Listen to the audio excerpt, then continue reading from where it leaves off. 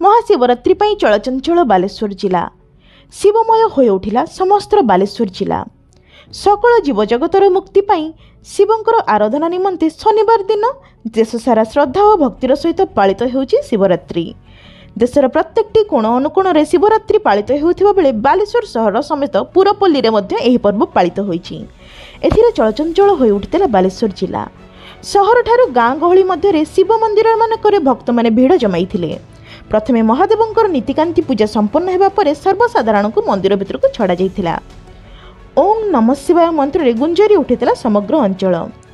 ଫାଲ୍ଗୁନ ମାସ କୃଷ୍ଣପକ୍ଷ ଚତୁର୍ଦଶୀ ତିଥିରେ ମହାଦେବଙ୍କର ବିଭିନ୍ନ ମୂର୍ତ୍ତିକୁ ଚାରି ପ୍ରହରରେ ପୂଜା କରାଯାଇଥାଏ।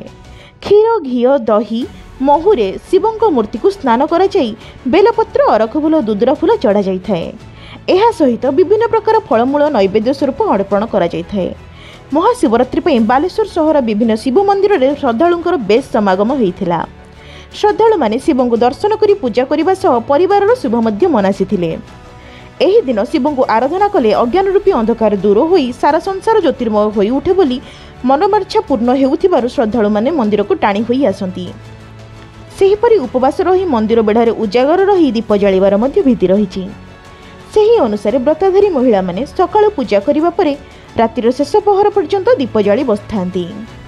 ବାଲିରେ ଅରଖ ଫୁଲ ରଖି ତା ଉପରେ ଦୀପ ବସେଇ ଜାଳିବାର ପରମ୍ପରା ରହିଛି। ଉପବାସ ରହିବା ସହ ମହାଦୀପ ଉଠିବା ସମସ୍ତେ ଉପବାସ ଫିଟାଇ ପୁଣି ମହାଦେବଙ୍କୁ ଦର୍ଶନ କରି ଘରକୁ ଫେରନ୍ତି। ଭକ୍ତଙ୍କ ଭିଡ଼କୁ ଆଖି ଆଗରେ ରଖି ମନ୍ଦିରର ପରିଚାଳନା କମିଟି ତରଫରୁ ସମସ୍ତ ପ୍ରକାର ବ୍ୟବସ୍ଥା କରାଯାଇଥାଏ। ମହିଳା ଏବଂ ପୁରୁଷଙ୍କ ନିମନ୍ତେ ସ୍ୱତନ୍ତ୍ର ବ୍ୟାରିକେଡ୍ ବ୍ୟବସ୍ଥା ସହ ପୋଲିସ ମୁତୟନ ମଧ୍ୟ କରାଯାଇଥିଲା। ଝାଡ଼େଶ୍ୱର ମହାଦେବ ଏବଂ ବାଣେଶ୍ୱର ମନ୍ଦିର ସାମ୍ନାରେ ଜାଗର ମେଳା ବସିଥିଲା। ଏଥିରେ ଚଣା ଉଖୁଡ଼ା ଟଙ୍ଗା ଲଡ଼ୁ ସମେତ ବିଭିନ୍ନ ପ୍ରକାର ଘରକରଣା ସାମଗ୍ରୀ ବିକ୍ରି ହେଉଥିଲା। ଶ୍ରଦ୍ଧାଳୁମାନେ ମନ୍ଦିରରେ ପୂଜାର୍ଚ୍ଚନା କରିବା ପରେ ମେଳାରୁ ନିଜ ମନପସନ୍ଦର ସାମଗ୍ରୀ କିଣିବାରେ ଭିଡ଼ ଲଗାଇଥିଲେ। ଆଜିକାଲି ଟ୍ୱେଣ୍ଟି ଫୋର୍ ସେଭେନ୍ ସତ ଖବର। ସମସ୍ତଙ୍କ ଖବର।